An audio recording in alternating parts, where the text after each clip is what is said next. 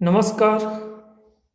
दोस्तों, जैसा कि आपको पता है कि हमारा रीड के अंदर जो सिलेबस था, उसको कवर करने के लिए मैंने कहा था, संस्कृत के मैं टॉपिक डालूँगा तो उसके अंदर सबसे पहला टॉपिक है जो छंद है, ठीक है? वो मैं डाल रहा हूँ, छंद टॉपिक जो भाषा द्वितीय जो एग्ज़ाम के अंदर भाषा द्वितीय चुन रहा है, उसके लिए ये संस्कृत छंद आएँगे, ठीक है ना? और भाषा फ़र्स्ट है, वो उसके लिए छंद नहीं है, ठीक है ना? ठीक है, यही बात इंपॉर्टेंट है, इसको ध्यान में रखते हुए तैयारी करें। ठीक है, अब ये देखिए भाषा द्वितीय के लिए जिसने REET level two level level two के अंदर जिसने भाषा सेकंड चुनी है, उसके लिए ये छंद है। ठीक है, नमस्कार दोस्तों, मैं हूँ जीएस आप देख रहे हैं Guru ji for an Indian exam तो चलिए शुरू करते हैं। ठीक है दोस्तों, यहाँ पे देखिए सबसे पहले आ गया संस्कृत छंद है, ठीक है। देखिए, इसके अंदर जो ये बात बताई गई है ना, देखिए, ये जो बात बताई गई है इसमें ये कहा गया है कि भाई छंदों को वेदों में रस के रूप में युक्त मतलब ये वो प्रयोग किया जाता था, ठीक है? वेदों में किया जाता है। और जो छंद है, वो परिमाण या संख्या युक्त होते हैं। यदा परिणाम तक छंद, है ना? ये संख्या और परिमाण पर आधारित होते हैं ये छंद, ठीक है? ये दो बातें ये याद रख लेना। इसमें एग्ज़ाम में आ सकते हैं, भाई छंद ऐसा कोई एग्ज़ाम में क्वेश्चन नहीं आएगा, लेकिन ये क्वेश्चन है ना, इसको आपको याद रखना पड़ेगा। छंद शास्त्र के प्रणेता माने गए आचार्य पिंगल मुनि। कौन? पिंगल मुनि, ठीक है? ये आपको ध्यान में रखना है। समझ गए? ये होते हैं हमारी पहली बात क्वेश्चनों को मैं एंड में वीडियो के एंड में पूछता रहूँगा, हर वीडियो के एंड में पूछूँगा और ये इसीलिए पूछूँगा क्योंकि आपका ध्यान इसके अंदर कितना है। इसी कारण मैं हर वीडियो के अंदर, जैसे कि मैंने हिंदी लिटरेचर शुरू किया था, तब भी ऐसा ही चल रहा था और मेरा ऐसा ही चलेगा क्योंकि मेरे सब्सक्राइबर और व्यू से ज़्यादा इंपॉर्टेंट है। आपको ज़्यादा से ज़्यादा चीज़ें याद करवाना और आप, ये देखिए मैं जो भी चीज़ें पढ़ाऊँगा उसके अंदर सारे गारंटी है, इनमें से क्वेश्चन पढ़ने वाले हैं, ठीक है ना? आप सोचोगे आप क्या एग्ज़ाम में, आप मतलब कि क्या पेपर बनाते हो या फिर, ऐसी बात है, आपको सोचनी नहीं चाहिए। क्योंकि देखिए, हमने, मैंने जो ये चीज़ें लिखी है ना, पूरी खोज पाँच, दस बार, दस जगह से, नोट्सों से मिला के फिर ये चीज़ें बनाई है। ठीक है ना? आपको इसमें कुछ भी सोचने की या टेंशन लेने की ज़रूरत नहीं है। और अब देखिए, आगे जो चीज़ आ रही है वो देख लेते हैं। छंद के प्रकार क्या है? ठीक है ना? एक तो देखिए, छंद होते हैं वर्णिक, वर्ण होते हैं वो। ठीक है ना? जैसे कि राम है तो ये राम एक वर्ण हो गया और ये मैं दूसरा वर्ण हो गया, ठीक है? और ये देखिए मात्रिक, अब मात्रिक छंद कौन से देखिए, अब यहाँ पे ये मैंने राम लिखा था ना। ये देखिए राम लिखा है तो इसकी मात्रा हो गई ये गुरु, ठीक है ना? ये अभी मैं आपको बताऊँगा कैसे गुरु क्या है ना? ठीक है, चलिए देखिए। ये छंदों के प्रकार है, दो प्रकार के होते हैं, वर्णिक और मात्रिक। वर्णिक छंद तीन प्रकार के होते हैं समृद्ध अर्ध समृद्ध और विसमृत समृद्ध छंद उनको कहते हैं, जिसके अंदर चार चरण होते हैं। चार चरण होते हैं, जैसे आपने कभी श्लोक पढ़ा होगा। जैसे कि हमारे रीट एग्ज़ाम के अंदर एक पूरा पद्यांश देंगे उसके अंदर चार चरण होंगे। ठीक है, क्या चार चरण होंगे? एक, दो, तीन और चार, ऐसे एक श्लोक आएगा, ठीक है ना? उस श्लोक के अंदर उसी को क्या क्या क्या कहते हैं? चरण कहते हैं और चारों चरणों में सम मात्राएँ क्या होगी? सम होगी, ठीक है ना? वर्ण होंगे, वो सम मात्रिक होंगे ना? क्या सम वर्णिक होंगे? चंद। वर्ण, है ना? और ये क्या देखिए, और चार होंगे, एक, दो, तीन, चार, ये हो गए ठीक है? अब देखिए, जो ये ये है ना, ये अर्ध समृत है ना? इसमें क्या होगा कि भाई इसका फ़र्स्ट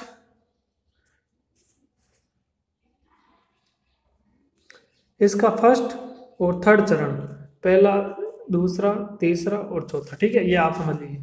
तो ये ये होगा अर्ध समृद्ध ना? क्या होगा? अर्ध समृद्ध ठीक है, एक मिनट। देखिए, इसके अंदर, आप इसके अंदर ये समझे होंगे नहीं, लेकिन आपको मैं एक तरीके से समझाता हूँ। देखिए, इसके अंदर ये है चार लाइनें, ठीक है ना? चारों ही लाइनें समान होंगी, समझ गए ना? इसके अंदर वर्ण है जितने इसमें होंगे, इसमें भी वर्ण, इतने इतने, चारों में वर्ण समान हो हर लाइन में वर्ण समान हो गए ठीक है ना? ये समझ गए आप इससे। और अर्ध समृद्ध में क्या होगा? पहली पहली लाइन होगी? ये पहली लाइन है और ये दूसरी लाइन है और ये तीसरी, ये चौथी लाइन, ठीक है? तो ये पहली और तीसरी दोनों भाई भाई और ये दूसरी और चौथी, ये दो भाई भाई ठीक है ना? ये समझना आपको, क्योंकि ये दोनों समान होंगे, पहली और तीसरी और दूसरी और चौथी, ये दोनों लाइनें समान होंगी, ठीक है ना? इसी को कहते हैं अर्ध समृद्ध और विसमृद्ध चारों लाइनें अलग अलग होंगी, ठीक है ना? यहाँ पे लिखा हुआ है चारों लाइनें भिन्न होगी, ठीक है? ये चीज़ें इसके अंदर मेन इंपॉर्टेंट यही आपको यहीं पे ध्यान रखना है। ठीक है, आगे मैं क्वेश्चन पूछूँगा, आपको अगर ध्यान नहीं पड़ा तो फिर वापस वीडियो पॉज करके पीछे जाइए ना। आपको ऐसे ऑप्शन दिए हैं यूट्यूब ने, ठीक है? और देखिए, इसके अंदर आगे क्या है, एक ये जो वर्णों को गिन रहे हैं ना, उनका एक सूत्र है ना, वर्णों को गिनने में हमारे सहायता करेगा ये सूत्र, ये आपने सूत्र जब सातवीं, आठवीं, नौवीं, दसवीं, कोई भी क्लास में ये सूत्र आपने ज़रूर पढ़ा होगा, ठीक है? संस्कृत सब्जेक्ट में भी आता है और हिंदी में भी आता है, हिंदी के अंदर तो छंद नहीं हो थे पहले, लेकिन अभी जो संस्कृत के अंदर ये सूत्र आया था, ठीक है? और आता है अभी, ठीक है ना? वर्णों को गिनने में सहायता करता है, ये सूत्र यमाता राज भान ऐसा लगा ना? दोस्तों मेरे क्या कि होठ के नीचे की साइड में थोड़ा वो छाला हो चुका है और वो क्या दांत टच होता है ना तो थोड़ा दर्द करता है, इसलिए बोलने में थोड़ी तकलीफ़ आवाज़ अलग आवाज़ आ सकती है, इसलिए आप थोड़ा इसको करें, ठीक है? मेंटेशन करें इसका और कोपरेट करें, ठीक है? देखिए, इसका इंग्लिश ज़्यादा आती नहीं, लेकिन फिर थोड़ी बहुत बोल देते हैं ना। देखिए, अब इसके अंदर ये जो सूत्र है ना, ये हमें याद रखना पड़ेगा। इसके अंदर, देखिए, गणों की संख्या आठ गण होते हैं, ठीक है? कितने? आठ गण होते हैं।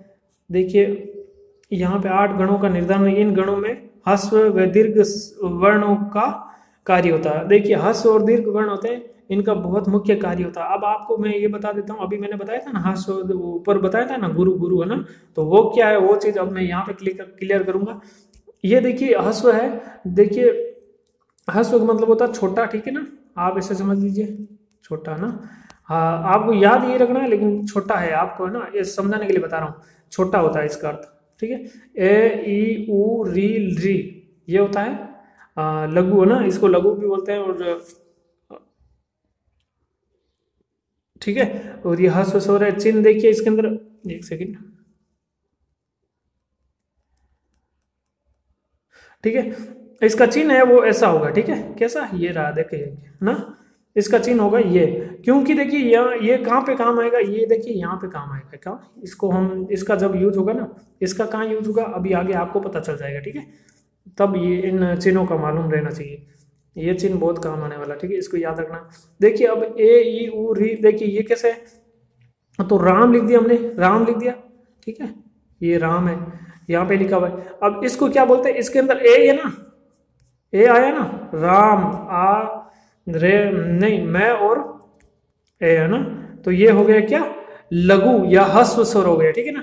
इसी को बोलते हैं हस्व, ठीक है? वी है तो वी हो गया लघु। यहाँ पे देखिए, इसको याद रखना पड़ेगा आपको। ऐसा नहीं है कि आप सोच रहे हो कि हमें याद नहीं हुआ क्या। इस चीज़ को आपको याद रखना पड़ेगा और इसी के आधार पर ये आप राइट कर कर दोगे। आप यहाँ पे गुरु देखोगे तो यहाँ पर आपको पता चल जाएगा छोटा गुरु है इसका मतलब यहाँ पे लघु होगा ना?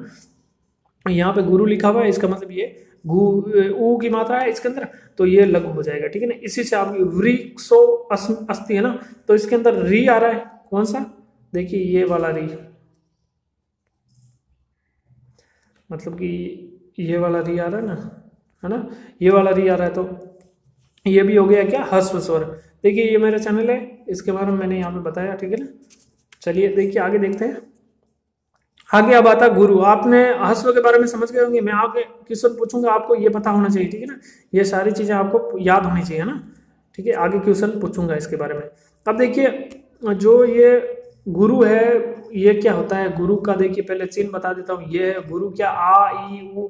आपको स्वर तो मालूम ही है ना? स्वर है तो मालूम है तो देखिए, इसके अंदर आ, ई, उ, ए, आई, ओ, औ। मालूम नहीं है ना? तो वर्ण पढ़ेंगे ना हम। जब वर्ण का ज्ञान पढ़ेंगे ना, वर्ण का अलग टॉपिक आता है, उसको पढ़ेंगे, तब आपको बताया जाएगा इसके बारे में। ठीक है ना? आ, ई, उ, ए, आई, ओ, औ, क्योंकि अगर मैं यहाँ पे ये बताने बैठ जाऊँगा ना तो बहुत टाइम चला जाएगा, क्योंकि हमें अभी छंद पढ़ने देखिए, वैसे ये चीज़ें आपको याद करनी पड़ेगी। ऐसा नहीं है कि आपको वहाँ पे, वैसे स्वर आप लगभग सब स्टूडेंट को आते हैं, और स्वर नहीं आते तो फिर तो बहुत सही बात नहीं है, ऐसा कुछ नहीं है, लेकिन सही बात नहीं है, क्योंकि आपको आने चाहिए ना। ये बहुत ज़रूरी चीज़ है। इनके बिना संस्कृत व्याकरण आप नहीं सीख सकते। तो देखिए, इसके अंदर चिन्ह होता है एस मतलब एस, इंग्लिश का एस होता है ना, वही चिन्ह होता है, इसको बोलते हैं गुरु। यहाँ पे लिखा है ना मैंने, गुरु, देखिए, यहाँ पे ये गुरु लिखा हुआ है ना, और इसे दीर्घ भी बोलता है, गुरु भी बोलता है ना। ये चीज़ें, ये दोनों चीज़ें आपको पता होनी चाहिए, ठीक है? और ये देखिए, अब आपको पता चलना चाहिए कि क्या ये गुरु कैसे हुआ? ये राम, श्री, साधु, कम, कौनता है वेनक है ना? तो इसके अंदर राम है, वो राम, श्री साधु कम, ये कौन है ये वेंत ये सारे क्या गुरु, देखिए यहाँ पे तय तय की मात्रा गुरु हो गया ना? ये वही है, वही तय, है ना? ये गुरु हो गया, श्री ये गुरु हो गया, है ना? ई की ई बड़ा ई आ रहा है यहाँ पे। यही है गुरु और हस्व आपको समझ में आ गए हो गई है मैं आपको आगे क्वेश्चन पूछूँगा इनके बारे में, ध्यान रखना। ये देख लीजिए, एक दो और रह गए। औषधि औषध तो ये दोनों देखिए आप देख सकते हैं, ठीक है? अनुस्वार से पूर्व वाला वर्ण होगा ना, वह होगा गुरु। आपको पता है, मैंने अभी बताया कि ये होता लघु, ये होता गुरु, ये होता लघु, ये होता गुरु। ये लघु, ये गुरु, ये लघु, ये गुरु, और ए, ई, उ, री, और लिरी। क्या लिरी है ना? ये तो होते हैं हस्व या लघु वर्ण, और और दीर्घ और गुरु वर्ण किन्हें बोलते हैं? आ, बड़ा, ई, बड़ा, उ, ए, आई, ओ ये होते हैं। दीर्घ या गुरु वर्ण बोलते हैं, ठीक है ना? ये आपको पता चलना चाहिए ना? ये रहे, देख लीजिए। एक बार और दिखा देते हैं। हमारे कुछ नहीं, इसमें दिखाने पर ही आपको याद होगा ना? चलिए देखिए, अनुस्वार से पूर्व वाला वर्ण है, वो गुरु कहलाता है। क्या? अनुस्वार से पूर्व वाला वर्ण गुरु कहलाता है। जैसे देखिए, इसके अंदर मैं आपको बताता हूँ, रामम। आप देखिए, ये आपको बहुत ज़रूरी है, ये चीज़ समझनी आपको याद होनी चाहिए, छंद गलत हो जाएँगे इनके बिना ना। ये ये चीज़ें हैं जो छंद की नींव रखते हैं छंद सीखने के लिए। हमारी नींव यही है ना, यहाँ पे ये मैंने ठोका अनुस्वार। ठोक दिया? आप देख रहे ऊपर मैंने बिंदी लगाई एक। देखिए, इसके अंदर बिंदी लगते ही क्या हो गया? ये अनुस्वार है ना, ये अनुस्वार हो गया। तो अनुस्वार से पूर्व, ये मैं है ना, अनुस्वार से पूर्व है, ठीक है ना? ये आपको ध्यान में रहना चाहिए। अनुस्वार से पूर्व क्या है? ये मैं है, वो ये मैं वाला है, वो अनुस्वार से पूर्व वाला वर्ण है ना। तो अनुस्वार से अगर पूर्व वाला वर्ण है, वैसे तो देखिए ये मैं है तो आपको ऐसा है कि मैं के अंदर एक ही मात्रा है तो ये क्या हो जाएगा? हस्व या लघु वर्ण हो जाएगा ना, ये आपको पता है। लेकिन इसके ऊपर जैसे ही अनुस्वार आया, ये क्या बन गया? गुरु। समझ में आ गई? ये देखिए, यहाँ पे यहाँ लिखा हुआ है, ठीक है ना? ये आपको समझना पड़ेगा। याद रखना है समझना भी नहीं है याद भी रखना है इस चीज़ को। लास्ट तक काम आएगी ये चीज़ ठीक है ना? विसर्ग विसर्ग से पूर्व पूर्व वाला वर्ण है पूर्व वाला वर्ण है वो आ, गुरु होता है। विसर्ग देखिए ये रहा यहाँ पे लिखा हुआ है राम ये विसर्ग हो गया ठीक है? इससे पूर्व वाला वर्ण मैं है तो ये गुरु हो गया। वैसे आपको पता है मैं क्या है? लघु वर्ण है ना लेकिन इसके आगे जैसे ही विसर्ग लगा ये हो गया गुरु, ठीक है? देखिए अगला आगे और क्या है? अर्ध व्यंजन से पूर्व वर्ण गुरु कहलाता है। सरस्वती, देखिए आपने अभी यहाँ पे गौर नहीं किया, यहाँ पे ये है ना, पे आपको मालूम है क्या होगा? आप बताइए। पे क्या होगा? पे वैसे तो सिंगल पे आया तो वो तो होगा लघु, लेकिन अगर इसके आगे आधा से आ गया आधा व्यंजन आ गया ना तो ये हो गया गुरु। ये अगला नियम यही है ना। अर्ध व्यंजन वर्ण से पूर्व वर्ण वाला गुरु होता, देखिए या से है वो आधा व्यंजन है ना ये से आधा व्यंजन है और इससे पूर्व वाला वर्ण क्या होगा? गुरु होगा, ठीक है? देखिए कभी कभी चरण पूर्ति के लिए अंतिम वर्ण को भी गुरु मान लिया जाता है। कैसे? इसका मैं आपको अभी आगे थोड़ी देर बाद में आपको पूरा एकदम डिटेल इस बात को ध्यान में रखना, आपको याद रखना। हर समय याद में रहना चाहिए, क्योंकि देखिए, आपका दिमाग फिर ऐसे चला जाएगा कि आप कोई चार चरण देखोगे और उनमें अंतिम वर्ण जो जहाँ पे गुरु होना चाहिए वहाँ पे लघु लिखा हुआ है, आप वहाँ पे दिमाग वहीं पे बैठा दोगे कि यहाँ पे लघु क्यों है, ये तो गलत है, ये तो किताब वाले ने गलत दे दिया, या बुक बनाने वाले ने ये सही नहीं किया, या सर ने ये गलत बता दिया, ऐसा नहीं सोचना आपको, वो सही होगा, क्योंकि जो देखिए यहाँ पे लिखा हुआ कभी कभी चरण पूर्ति के लिए अंतिम वर्ण को भी गुरु मान लिया जाता है, ठीक है ना? इस बात को ध्यान रखना। अब देखिए ये जो सूत्र है, वो हमें याद रखना, ये तो रटना ही है, क्या? मैं यहाँ लिखता हूँ, रटना ही पड़ेगा। अगर आपको याद नहीं है तो रटना पड़ेगा, याद है तो सबसे अच्छी बात है। रटना ही पड़ेगा। यहाँ लिखूँगा तभी आपके दिमाग में बैठेगा ना। चलिए देखिए यम माता राज भान सलघम अब देखिए, हिंदी में क्या होता है? हिंदी में यहाँ पे आता है गा, ठीक है? इससे ये बन जाता है गुरु। लेकिन इसमें क्या आया? म। देखिए, आपको बताए ना कि अर्ध व्यंजन के पूर्व वाला वर्ण गुरु कहलाता है ना। अभी बताया ना थोड़ी देर पहले। तो ये क्या अर्ध व्यंजन है? और इससे पूर्व वाला वर्ण क्या गय वो गुरु कहलाएगा ना? इसीलिए यहाँ पे सलघम लगाते हैं ना? इतनी बात ध्यान रखना। और देखिए यह यहाँ पे देखिए, यमाता है ना? ये यगण है, मातारा, मगण, ताराज जगण तगण। देखिए, ये आप सोचोगे, ये यमाता कहाँ से बना? तो ये माता, ये यमाता लिख दिया। तो इसका ये है ना? अब हर वर्ड का जो पहले वाला वर्ड है ना, ये है तो यगण हो गया। इसका मैं है तो देखिए यह मगण ये देख सकते हैं, ये ता है तो ये तगण, ये र है तो ये रगण, आगे भी ऐसे चलते रहेंगे, ठीक है? आपको ये बात ध्यान रखना। और ये मत पूछना अभी कि ये यमाता कहाँ से लिखा? ये आपके सामने है। यमाता, है ना?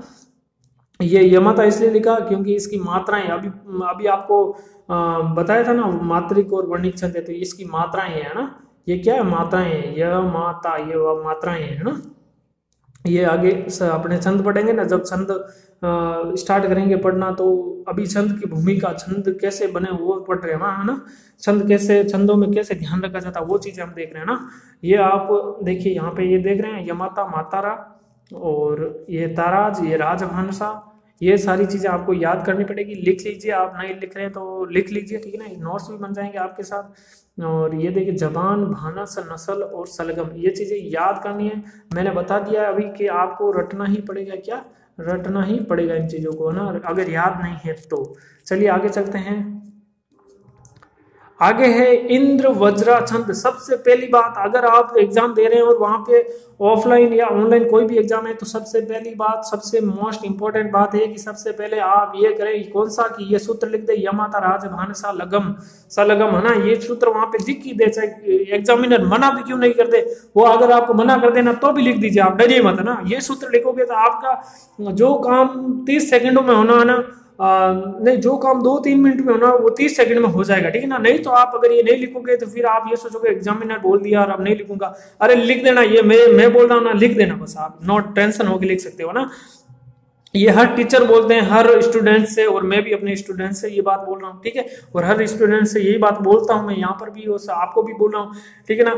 और देखिए, इसके अंदर इंद्र वज्रासन हम पढ़ रहे हैं। कौन सा इंद्र वज्रासन पढ़ रहे हैं? जिसके अंदर ये लाइन आपको याद कर लेनी चाहिए, ये ये लाइन आपको याद करनी, कर लेनी चाहिए। क्या शाद इंद्र वज्जा यदि तव जगऊ गह? अब ये चीज़ आपको याद होनी चाहिए ना? देखिए, ये हम मैंने यहाँ पे लिखा, वचन, द्विवचन, ये द्विवचन है तव द्विवचन है, और जगव गौ द्विवचन है, ग एक वचन है ना? तो ये चीज़ मैंने लिखी, ये हम वचन पढ़ेंगे तो एकदम सरल चीज़ें, ये तो एकदम ऐसे हो जाएगी, आपको मतलब आँखें बंद करोगे तो भी आपको याद हो जाएगी, ऐसे मैं पढ़ूँगा, ठीक है ना?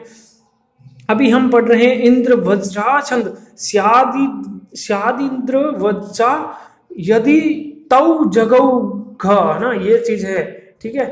और इसके अंदर मैंने ये एक लगाना भूल गया हूँ। ये यहाँ पे ये वज्रा लिखना ना शाद इंद्र वजा या या है, ठीक है ना, आपको ध्यान देना थोड़ा। आगे वो सब सही कर दिया मैंने आगे उसके अंदर। ठीक है, या शाद इंद्र वज्रा, यदि तव जगऊ ठीक है ना। इसके अंदर क्या है, इसका अर्थ है कि भाई, इंद्र वज्रा यदि किसी श्लोक के अंदर ग्यारह तो वर्ण होने चाहिए। वर्ण, मैंने बताया ना मात्रिक और वर्णिक। वर्ण कौन से? अभी हमने पढ़े थे ना, सम और अर्ध ना? वर्ण होने चाहिए। वर्ण कैसे? जैसे जगो लिखा तो एक दो, ये दो वर्ण हो गए, ठीक है ना? और यदि लिखा तो एक दो, यदि हो गए ना? तो ये ऐसे वर्ण इन, इंद्र वज्रा के अंदर ग्यारह तो वर्ण होने चाहिए। क्या? वर्ण। लेकिन आपको खाली वर्ण तक ही ध्यान भी नहीं देना। आप ऐसे नहीं कि एग्ज़ाम में अंदर वो श्लोक लिखा हुआ है, आपने पढ़ लिया कि इसके अंदर ग्यारह वर्ण है, चलो इसके अंदर इंद्र वज्रा कर देते नहीं, वो गलत हो सकता है आपका। इसके एक दो और छंद ऐसे, ग्यारह वर्ण भी होते हैं, लेकिन आपको मेन चीज़ है वो इसके अंदर देखिए, ये याद रखना, तव का मतलब होता है, यहाँ पे तव का मतलब होता है क्या?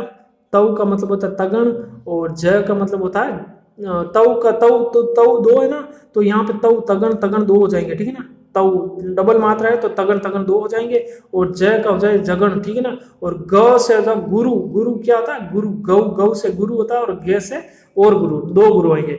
तो देखिए मुझे पता है, आपको इसके अंदर कुछ भी समझ में नहीं आया, लेकिन अभी आपको मैं एग्जांपल बताऊँगा तो आपको एकदम क्लियर हो जाएगा, ठीक है ना? देखिए, इसकी परिभाषा क्या है? जिस श्लोक के प्रत्येक चरण में क्रमशः तगण तगण, जगण, गुरु गुरु से ग्यारह वर्ण होते हैं, वही इंद्र, वज्रा, छंद होता है। अब आप इसके अंदर क्या समझे कि भाई, कोई भी श्लोक है, आप पद्यांश आएगा ना, आपकी भाषा सेकंड के अंदर एक पद्यांश आएगा, पता है आपको? तो उस पद्यांश के अंदर जितनी भी लाइनें होंगी ना, उसको श्लोक बोलेंगे और श्लोक ही, श्लोक के अंदर जो भी जिस लाइन में भी वर्ण होंगे, वो ग्यारह होंगे, कितने? ग्यारह वर्ण होंगे, ठीक है? और ये ग्यारह वर्ण होंगे, और देखिए, इसके अंदर तगण तगण, झगण, गुरु गुरु, ये ये चीज़ आपको ध्यान रखनी अब ये कैसे आपको आगे मैं उदाहरण के माध्यम से ही समझाऊँगा, ठीक है ना? ये चीज़ें यहाँ पे सेम लिखी हुई। देखिए, आपको मैंने बताया ना ग्यारह वर्ण कैसे देखिए? एक, दो, तीन, यहाँ पे लिख दिया, चार, पाँच, छ, सात, आठ, नौ, दस, ग्यारह, ये हो गए वर्ण। ये गुरु गुरु वर्ण आएँगे इनको वर्ण बोलते हैं। ये जब आप श्लोक पढ़ोगे ना, उसके पीछे ऐसा नहीं लिखा होगा, ठीक है ना? आप ऐसा दिमाग इतना थोड़ा आपको चलाना पड़ेगा, ऐसा नहीं लिखा होगा। उसके अंदर वर्ण लिखे होंगे और वही वर्ण गुरु गुरु कहलाते हैं ना, उनको वर्ण कहते हैं। एक वर्ण बन जाएगा वो। और देखिए, इसके अंदर मात्रा कैसे गिनेंगे? मात्रा देखिए, यहाँ पे आपको बताया ना मैंने पहले भी, मात्रा कैसे गिनना ऐसे, मात्रा, ये ता है तो ता की गुरु हो गए रा का गुरु हो गया और जय गुरु, है ना? ये भी गुरु गुरु और ये जबान, ये आपको, ये कुछ आपको बताने, देखने पड़ेंगे। ज़्यादा से ज़्यादा शब्द लिखिए और उनके नीचे मात्रा लगेगी सही हो जाएगा, ठीक है ना? अगर आप पहली बार पढ़ रहे हैं तो ठीक है? अब देखिए, आचार्यों की बुद्धि क्या, आचार्यों की बुद्धि इतनी इतनी मस्त थी, इतनी अच्छी थी कि भाई उन्होंने जो सूत्र बनाए ना कि शादी श्यादिंद्र वज्रा श्यादिंद्र वज्रा यदि तव झगऊ गए इसी के अंदर अपना पूरा ये इंद्र वज्रा छंद डाल दिया था। आपको पता होगा, पता नहीं है, आपको मुझे मालूम है। लेकिन अभी मैं बताऊँगा ना तो आपको पता चलना चाहिए, ये बहुत अच्छी चीज़ है। इस सूत्र को आप याद कर लोगे ना तो आपका पूरा का पूरा पूरा का पूरा इंद्र वज्रा छंद पूरा हो जाएगा, ठीक है ना? छंद पूरा हो जाएगा। देखिए, इसके अंदर जो ये चीज़ है ना, इसको समझना हमें। यहाँ पे लिखा हुआ है, शादिंद्र वज्रा। ठीक है? अब देखिए, मैंने एक चीज़ आपको बताई नहीं कि ये जो सूत्र है ना, यह माता राजवंश है ना तो देखिए, इसके अंदर तीन तीन के जोड़े बनेंगे ना तीन तीन के जोड़े बनेंगे। अगर कोई श्लोक लिखा हो तो उसके अंदर आप तीन तीन के बना दीजिए, ठीक है ना? तीन तीन के जोड़े बना दीजिए, समझ गए? अब देखिए, आपको ये लाइन है, मान लीजिए श्लोक की एक लाइन है आपको एक लाइन में ग्यारह वन ढूँढने, पहले तो ग्यारह वन ढूंढिए, देखिए वन ढूंढ रहे तो देखिए आपको दो तीन चीज़ें और बतानी है, वो मैं यहाँ पे बता रहा हूँ। आधा से है, ठीक है ना? आधा से है तो ये, इस आधा से को कभी वर्ण नहीं गिना जाता। क्या? वर्ण नहीं गिना जाता, ठीक है ना? ये वर्ण की श्रेणी में नहीं आता। तो हमारे वर्ण यहीं से स्टार्ट हो रहे हैं। एक, दो, तीन, चार, पाँच छ सात, आठ, नौ, दस, ग्यारह। ये वर्ण हो गए। पता चल गया आपको? पहला नियम क्या कहता है? कि ग्यारह वर्ण होने चाहिए। हो गया? ठीक है, ये चीज़ आपको पता चल गई। अब हमें देखना है क्या? अब हमें देखना है कि भाई तीन तीन के जोड़े बनाओ, पहले तीन तीन के जोड़े बनाओ।